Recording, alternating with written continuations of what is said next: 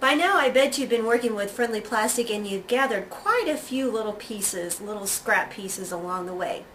Before you throw those out, I want you to check out today's project because I'm going to show you ways to use those little bits and pieces to make a great jewelry pendant.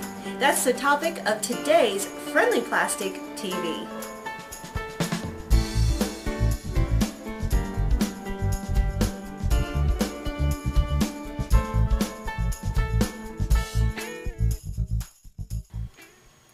Be using the strips of friendly plastic to make uh, this pendant here. I wanted to give you a good close-up of the pendant. It is um, actually a little palm tree on top of a glass marble. And there's the close-up. And the first thing we're going to do is we're going to cut out and shape our pieces. So pretty easy. Um, you can either find a strip of uh, gold plastic that's already cut into a triangle with a long point, or you can just simply cut one with scissors. Mine is about, it's a little less than a quarter of an inch uh, in width down here, and it comes to a very sharp point on this end, and it's about an inch and a half long.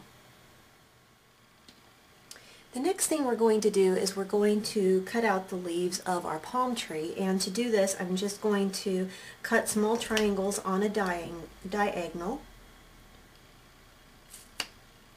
Cut about four of these and you don't have to be um, real careful about getting the, them round. I know they don't look like leaves at all but as soon as the plastic is heated uh, then we'll round out the leaves and make them more of a palm tree shape.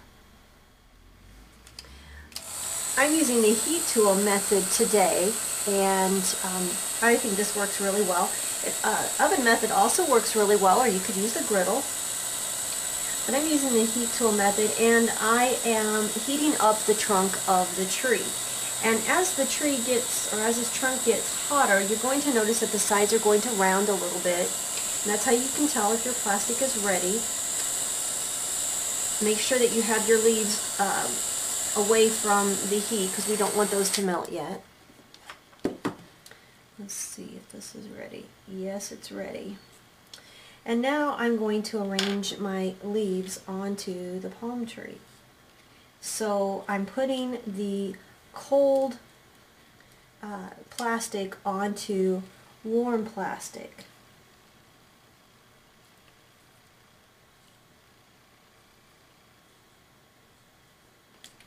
And arrange them like this. We heat the plastic up, that way we can um, arrange and put the leaves where we want them and we know that they will stay. So when you have them arranged, the next thing we're going to do is apply heat to these. Okay, I've actually turned this upside down to you so that I can work on it and I'm going to zoom in on the camera so that you can watch me.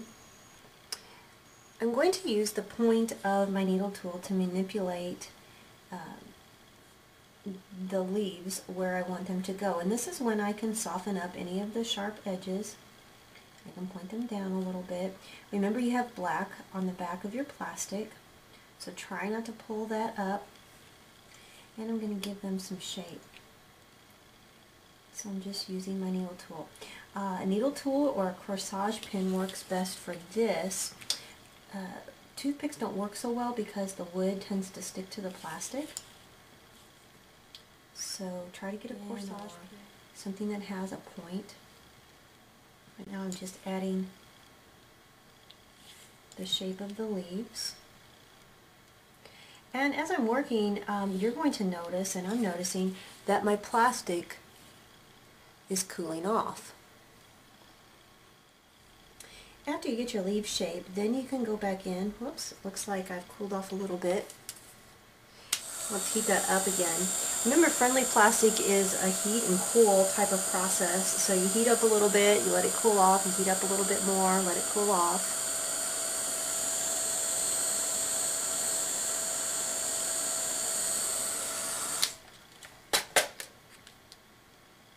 I'm just going to go in with my needle tool and I'm going to give it some texture like it is the palm tree. Let's bring some of this green over.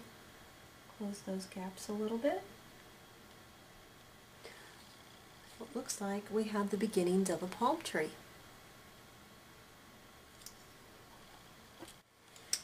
Next we're going to add some little bits of grass to kind of um, anchor, make our palm tree look like it has a base. And what I've done is I have cut little tiny slivers of the green plastic, and I mean little tiny slivers.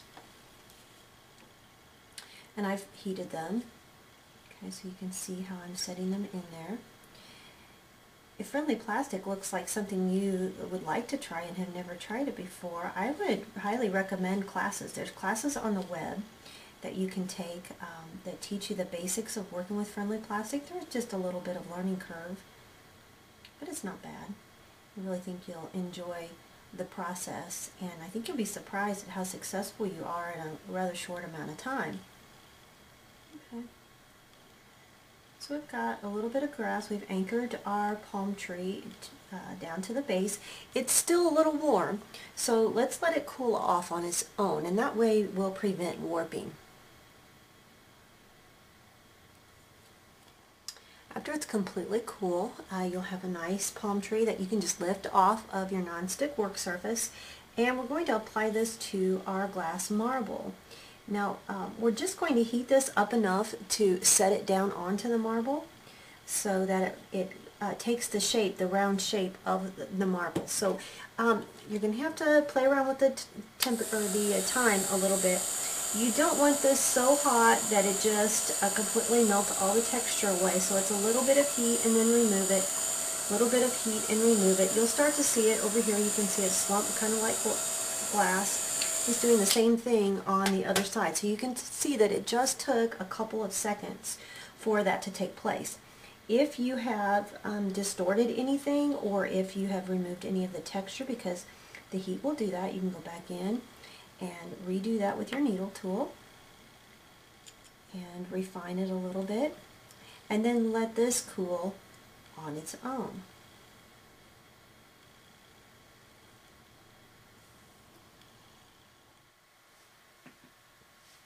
When it is completely cool, what you'll want to do is uh, you'll want to remove the uh, palm tree off of your glass marble.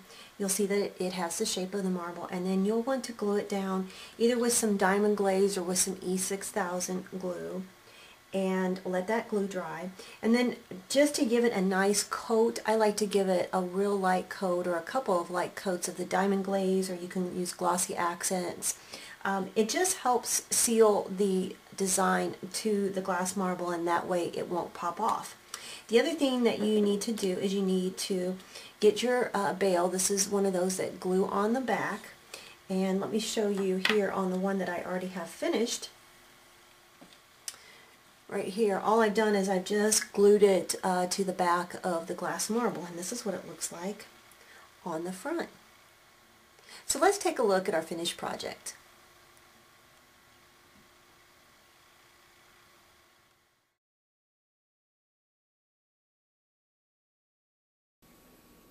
Well, as you can see, it just doesn't take a lot of plastic to make a great little jewelry pendant. And it's fun too. You can get more project ideas and inspiration on our blog at friendlyplastic.blogspot.com. While you're there, be sure to email us because we want to hear from you. You can also take online courses, and so if you're new to Friendly Plastic, I really encourage you to take one of those because it's lots of information and will really help you get started. That's going to do it for this episode of Friendly Plastic TV. I'm your host, Linda Peterson, and I'll see you back next time with another idea on how to turn those little bits and pieces into some great designer jewelry.